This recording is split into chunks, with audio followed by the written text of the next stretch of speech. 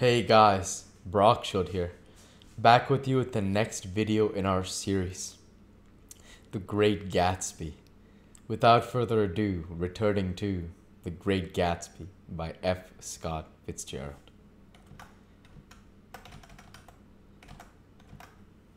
That's the one from Montenegro. To my astonishment, the thing he the thing had an authentic look. Orderi di, di Danilo ran the circular legend. Montenegro, Nicolas Rex. Darn it. Major J. Gatsby, I read, for valor extraordinary. Here's another thing I always carry a souvenir of, my, of Oxford days. It was taken in Trinity Quad. The man on my left is now the Earl of Dorchester. It was a photograph of half a dozen young men in blazers, loafing in an archway through which were visible a host of spires. There was Gatsby, looking a little, not much younger, with a cricket bat in his hand. Then it was all true. I saw the skins of tigers flaming in his palace on the Grand Canal. I saw him opening a chest of rubies to ease with their crimson lighted depths, the gnawings of his broken heart. I'm going to make a big request of you today, he said, pocketing his souvenirs with satisfaction. So I thought you ought to, to know something about me. I didn't want you to think I was just some nobody.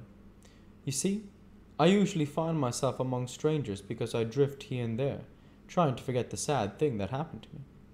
He hesitated. You'll hear about it this afternoon. At lunch? No, this afternoon. I happened to find out that you're talking, taking Miss Baker to tea. Do you mean you're in love with Miss Baker? No, old sport, I'm not. But Miss Baker has kindly consented to speak to you about this matter. I hadn't the faintest idea what this matter was, but I was more annoyed than interested. I hadn't asked Jordan to tea in order to discuss Mr. J. Gatsby. I was sure the request would be something utterly fantastic, and for a moment I was sorry I'd ever set foot upon his overpopulated lawn. He wouldn't say another word. His correctness grew on him as he neared the city.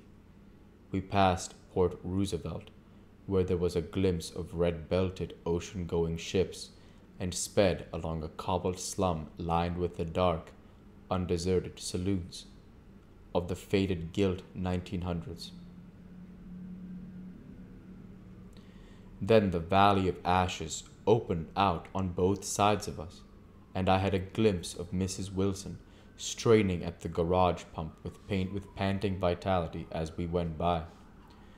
With fenders spread like wings, we scattered light through half Astoria. Only half, for as we twisted among the pillars of the elevated, I heard the familiar chug chug spat of a motorcycle, and frantic a frantic policeman rode alongside. All right, old sport, called Gatsby. We slowed down, taking a white card from his wallet as he waved it before the man's eyes. Right you are, agreed the policeman, tipping his cap. Know you next time, Mr. Gatsby. Excuse me. What was that? I inquired. The picture of Oxford? I was able to do Commissioner a favor once, and he sends me a Christmas card every year. Over the great bridge, with the sunlight through the girders making a constant flicker upon the moving cars, with the city rising up across the river in white heaps and sugar lumps all built with a white with a wish out of non-olfactory money. The city seen from the Queensboro Bridge is always the city seen for the first time, in its first wild promise of all the mystery and beauty in the world. A dead man passed us in a hearse heaped with balloons, with blooms, followed by two carriages with drawn blinds and by more cheerful carriages for friends. The friends looked out at us with the tragic eyes and short upper lips of southeastern Europe. And I was glad that the sight of the Gatsby splendid car was included in their somber holiday. As we crossed Blackwell's Island, a limousine passed us, driven by a white chauffeur, in which sat three two bucks and a girl. I laughed aloud as the yolks of their eyeballs roared toward us in a haughty rivalry.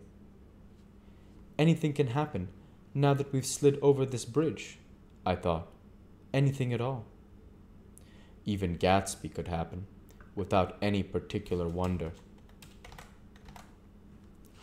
Roaring noon, in a well fanned 42nd Street cellar, I met Gatsby for lunch. Blinking away the brightness of the street outside, my eyes picked him out obscurely in the anteroom, talking to another man.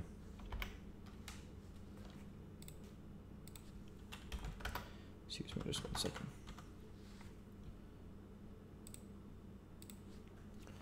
Mr. Carraway, this is my friend Mr. Wolfshiem. A small, flat nosed Jew raised his large head and regarded me with two fine growths of hair which luxuriated in either nostril. After a moment, I discovered his tiny eyes in the half darkness. So I took one look at him, said Mr. Wolfshiem, shaking my hand earnestly. And what do you think I did? What? I inquired politely. But evidently he was not addressing me, for he dropped my hand and covered Gatsby with his expressive nose. I handed the money to Katspaugh, and I said, I said, All right, Katspaugh, don't pay him a penny till he shuts his mouth. He shut it then and there. Gatsby took an arm of each of us and moved forward into the restaurant, whereupon Mr. Wolfshiem swallowed a new sentence. He was starting and lapsed into a somnambulatory abstraction. Highballs? asked the head waiter. This is a nice restaurant here, said Mr. Wolfshiem, looking at the Presbyterian nymphs on the ceiling. But I like across the street better. Yes, highballs, agreed Gatsby, and then to Mr. Wolfshiem. It's too hot over there. Hot and small, yes, said Mr. Wolfshiem, but full of memories. What place is that? I asked. The old metropole. The old metropole, brooded Mr. Wolfshiem gloomily, filled with faces dead and gone. Filled with friends gone now forever.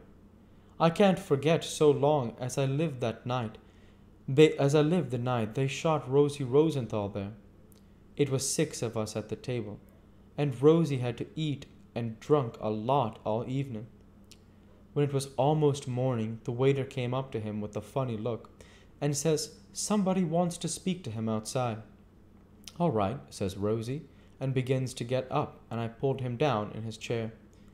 Let the bastards come here if they want you, Rosie, but don't you, so help me, move outside this room. It was four o'clock in the morning, and if we'd raised the blinds, we'd have seen daylight. Did he go? I asked innocently. Sure, he went. Mr. Wolfshiem's nose flashed at me indignantly. He turned around in the door and says, Don't let that waiter take away my coffee. Then he went out on the sidewalk, and they shot him three times in his full belly and drove away. Four of them were electrocuted, I said, remembering. Five with Becker. His nostrils turned to me in an interested way. I understand that you're looking for a business connection. The juxtaposition of these two remarks was startling. Gatsby answered for me. Oh no, he exclaimed. This isn't the man. No, Mr. Wolfshiem seemed disappointed. This is just a friend. I told you we'd talk about that some other time. I beg your pardon, said Mr. Wolfshiem. I had a wrong man. A succulent hash arrived, and Mr. Wolfshiem, forgetting the more sentimental atmosphere of the old metropole, began to eat with ferocious delicacy. His eyes, meanwhile, roved very slowly around the room. He completed the arc by turning to inspect the people directly behind him. Behind. I think that, except for my presence, he would have taken one short glance beneath our table. We'll go ahead and stop there for this week. As usual, I want to say thank you for watching and I hope you enjoyed. Please like, comment, and subscribe as it greatly helps the channel. Light be with you all. Take care and thanks again.